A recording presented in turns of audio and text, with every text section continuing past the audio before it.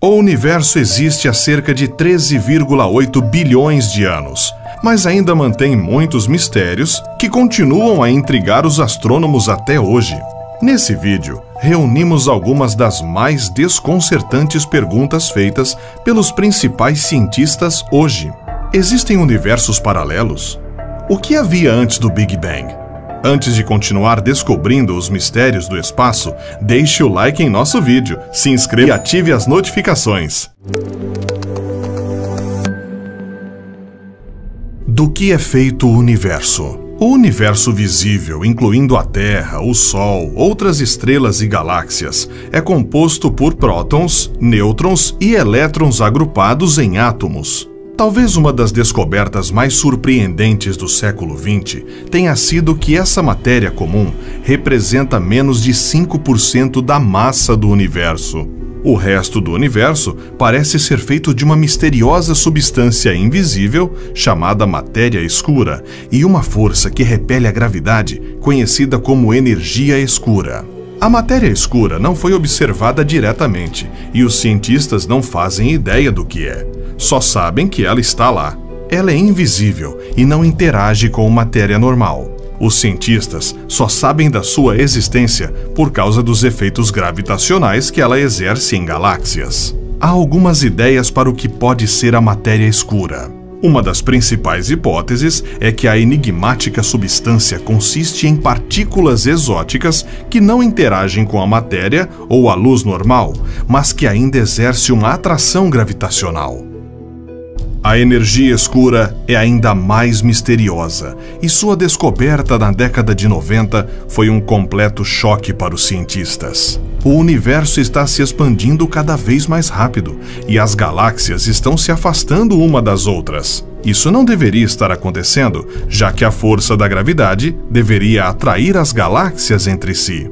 Hoje, os cientistas sabem que essa aceleração da expansão do universo é causada por uma força misteriosa chamada energia escura. Essa força elusiva ainda não foi detectada diretamente, mas acredita-se que representa 73% do universo.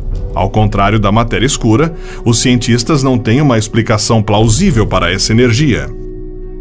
O universo parece ter sido feito à nossa medida.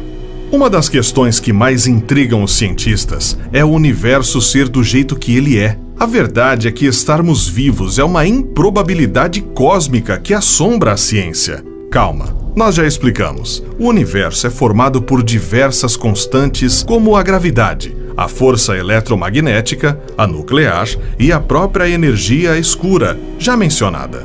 A interação entre essas forças é o que dá forma ao nosso universo planetas, estrelas, galáxias e a vida. Cada uma dessas forças possui uma constante. A questão é que, por exemplo, se a força da gravidade fosse só um pouquinho mais forte ou mais fraca, as estrelas não conseguiriam se manter. Sem estrelas, os planetas não existem, e sem os planetas, não há vida.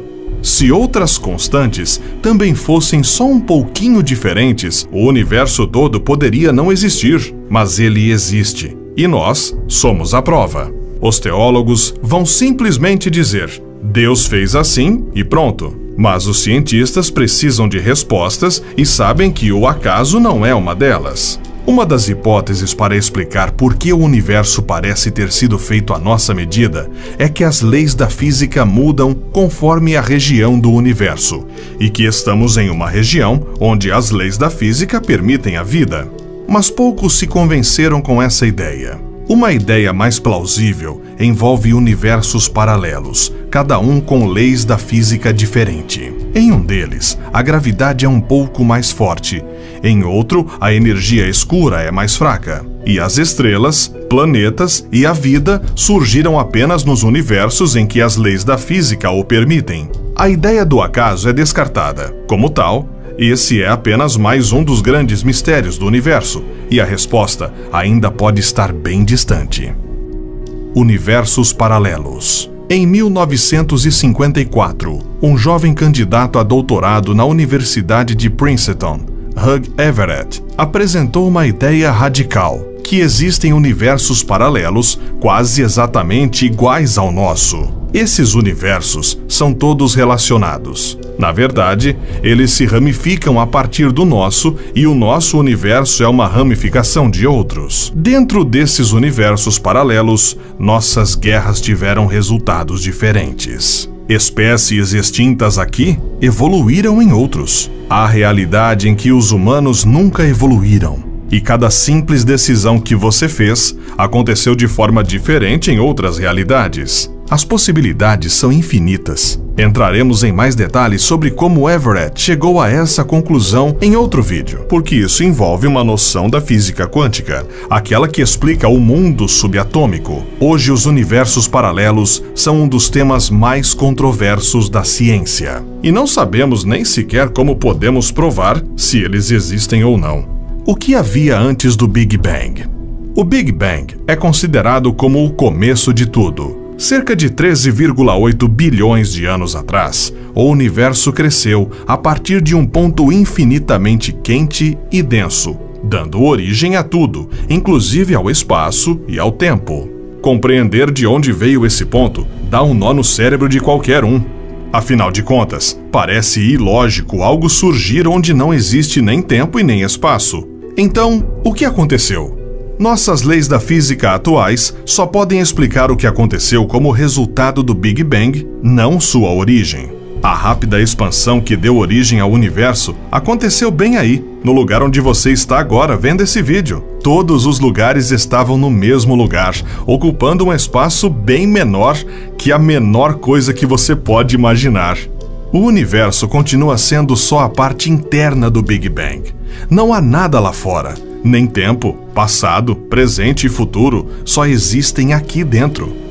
O que temos para explicar o que existe antes ou fora desse Big Bang são apenas hipóteses. Uma delas diz que aquele ponto infinitamente quente e denso é a singularidade de buracos negros de outros universos. Segundo os adeptos dessa ideia, cada buraco negro que vemos é um universo filho. E o nosso próprio universo é o buraco negro de outro universo, e por aí vai. Mas isso não responde de onde veio o primeiro universo. Caímos no mesmo problema. Melhor passar para o próximo item: buracos negros.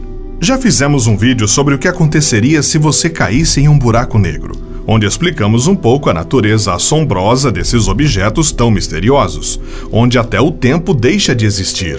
A relatividade de Einstein nos diz que o centro de todos os buracos negros é habitado por uma singularidade, aquela mesma que é um ponto infinitamente quente e denso. Mas o que realmente acontece ali é um mistério. As leis da nossa física simplesmente quebram quando tentamos explicar a singularidade. Por isso, os buracos negros continuam sendo os objetos mais misteriosos do espaço. No tópico anterior, abordamos a possibilidade de cada buraco negro ser um universo diferente, mas há outras hipóteses tão mirabolantes quanto. Alguns físicos sugerem que buracos negros têm sua contraparte, os buracos brancos. Eles são consequências teóricas da relatividade de Einstein e funcionam como um buraco negro invertido, isto é, um lugar onde energia e matéria aparecem espontaneamente. Existe vida fora da Terra? Pelo menos 25% das estrelas têm planetas. E dessas estrelas, pelo menos a metade tem planetas semelhantes à Terra, segundo estimativas. Isso significa que na nossa galáxia podem existir até 10 bilhões de planetas parecidos com o nosso. Pela lei das probabilidades, é muito possível que existam civilizações alienígenas por aí. Mas onde elas estão? Para muitos cientistas, no entanto, a existência de civilizações avançadas é mera especulação. Para eles, tudo bem que existam bilhões de terras por aí, e que a probabilidade de existir vida lá fora é muito grande, mas não significa que seja vida inteligente. A vida aqui existe há cerca de 3 bilhões e meio de anos, mas durante a maior parte desse tempo só havia seres unicelulares, as cianobactérias. Esse pode ser o caso na maioria dos planetas. Além disso, não basta o tempo passar para que as formas de vida se tornem complexas e inteligentes. A função essencial da vida é se adaptar bem ao ambiente onde ela está. A vida só muda se uma mudança ambiental exigir que ela mude. Por exemplo, Se o asteroide que matou os dinossauros há 65 milhões de anos não tivesse caído aqui na Terra e eles não tivessem sido extintos, com certeza não estaríamos aqui.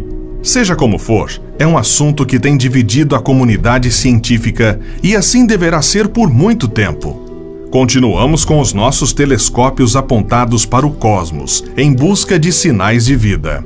E até lá, a resposta para se existe vida fora da Terra continua sendo um grande mistério. Será que um dia teremos todas essas respostas? Enquanto elas não vêm, aproveite para deixar o like em nosso vídeo e, se você quiser, pode sugerir novos conteúdos abaixo nos comentários.